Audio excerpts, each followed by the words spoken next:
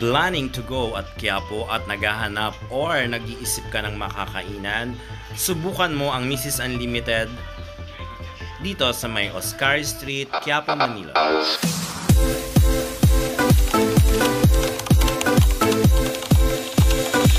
Wow! Welcome back to my channel guys. Once again, it's me, your Katodo. Ayan, nandito tayo sa Quiapo for another food adventure. Siyempre, katatapos lang ng Pasko. And mula sa kainan, susubok na naman tayo ng isang kainan na kung saan ay noon ay hindi ko napuntahan dahil talaga namang sobra ang pila. But bago ang lahat, kung hindi ka pa nakasubscribe sa aking channel, don't forget to hit the subscribe button and syempre i-hit mo na rin ang notification bell para updated ka sa mga susunod kong videos and for today's vlog nga yan susubukan natin yung yan, Mrs. Unlimited dito sa may Quiapo Echage na kung saan ay susubukan natin yung mga ino-offer nila ng mga Anli Rice and syempre yung mga food product from Lukban dahil taga Quezon ako, susuriin natin kung pasado ba sa taste ko yung kanilang Lukban pansit hab-hab at syempre ang pinahulbot. Kaya tara, samahan niyo ako for another food adventure. It's me, your Kat- Madali lang hanapin na ang Mrs. Unlimited dito sa may Quiapo dahil malapit dito sa may uh, Quinta Market and uh, sa ilalim ng Echage, particularly in Oscar Street, Quiapo, Manila.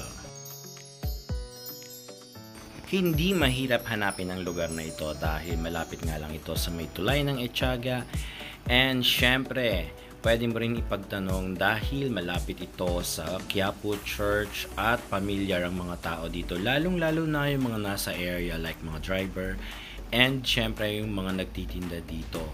Makikita rin natin na sa mga gilid ay merong parking for motor and I don't know lang siguro mahihirapan tayo if we have uh, four wheels na sasakyan. But if we can park it on sa gilid na papunta doon sa may Muslim area meron din naman mga parking area doon and syempre as you can see ayan makikita ninyo na pagpasok pa lang ay na ino-offer na nila ang kanilang uh, look Ban Delicacy na kung saan ay pinahulbot. At uh, syempre, ang aking paborito na pansit hab-hab na kung saan ay uh, 25 pesos lang ang kanilang offer per order at syempre ganun din ang pinahulbot. And as we can see, uh, maganda naman yung area at uh, mukhang safe and syempre maayos ang kinalalagyan ng building ng Mrs. Unlimited dito sa May Quiapo and marami ring establishment kaya kung kayo ay naghahanap ng food trip here in Quiapo at malapit din lang naman kayo kayo ay namili sa area subukan nyo na at itry nyo ang mga kainan na ito dahil ito ay nag-o-offer ng Lukban Delicacies na pansit habab at syempre ang pinahulbot. At syempre ang kanilang dinadayong bulalo na kung saan ay may unlimited rice na magdadagdag ka lang ng 15 pesos at meron din sila mga sizzling plate. At syempre dinagdagan ito nila ng mga Korean things or Korean food na kung saan ay uh, makikita ninyo nga ginagaya na rin nila ang uh, kultura ng Korea na kung saan ay uh, makikita ninyo ang uh, produkto at mga pagkain ng ibang Korean na kung saan ay may halo din syempre ang Filipino style na food and ayan na nga as you can see per serving gaya ng sinabi ko is 25 pesos ayan susubukan natin yan kung uh, pasok ba or uh, kasing quality ng lukban hab-hab talaga niya. Lalagyan natin yan syempre ng suka ayun. Ang pinagkaiba nga lang syempre is yun, naka-styrofoam siya na kung saan ay may dahon pa rin naman ng saging. Kung kaya kayo ay taga lukban at uh, sinusubukan ninyong uh, uh, alamin kung ma, may papantay ba nila yung quality ng pinahulbot. At syempre ng pansit habab ay dayuhin na natin ito. At yan nga 25 pesos ang per order nila. And subukan muna natin yung isa dahil marami kaming in-order inside na pagkain dahil kami ay uh, naghahanda para sa aming pamimili here in Quiapo.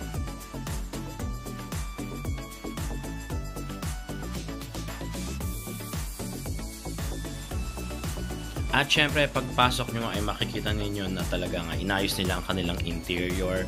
Malamig ang area, bagamat matao nung kami ay pumunta. Hindi may iwasan ang pilahan dahil nga sa kanilang pagkain na kung saan ito ay isa ring certified halal na kung saan ay kung ikaw ay maselan at ikaw ay may ibang religion, naniniwala na hindi kumakain ng pork or everything, most especially ng pork oil, patok na patok ang pagkain ito na kung saan ay nag-o-offer ng mga 99 and above na price na may iba't ibang potahe Merong bulalo, may kaldereta, may chicken wings, and of course, may mga platters and everything sila.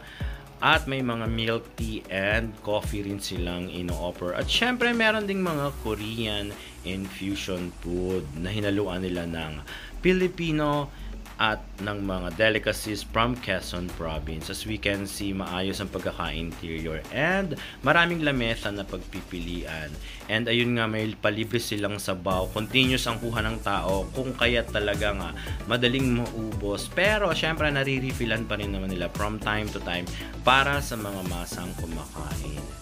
Ayan ang aming mga napili ay ang kani salad at ako naman ay ang kaldereta nila kung saan ay only rice din yan at syempre ang pinahulbot at ang bulalo na kung saan ay pinagsaluhan na lang namin dahil malaki ang serving or marami.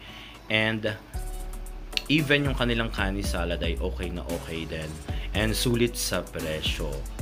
Kung ikaw din lang naman ay naghahanap ng makakainan here at Quiapo na kung saan ay convenient, may lamesa, magandang ambience, and syempre merong malamig at maayos at malinis na surroundings at syempre nang kakainan ay pumunta na kayo dito sa Mrs. Unlimited at talagang mag-i-enjoy kayo at masasatisfied kayo sa kanilang ino-offer na pagkain. Aside syempre sa mga iba pang uh, dinarayong kainan dito sa May Quiapo ay subukan nyo na rin ang kanilang mga pa-only rice na kung saan ay sulit at 99 pesos lang ay sigurado mabubusog ka na after mong mag-shopping, mamili ng mga importanteng bagay here in Quiapo, Manila.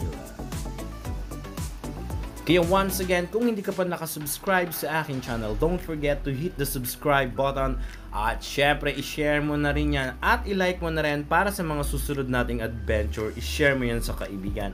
Kita-kits tayo sa mga susunod na food adventure at iba pang pasyalan at kung ano pang mga kaganapan here in Metro Manila at syempre sa iba pang lugar. It's me, your Katolo.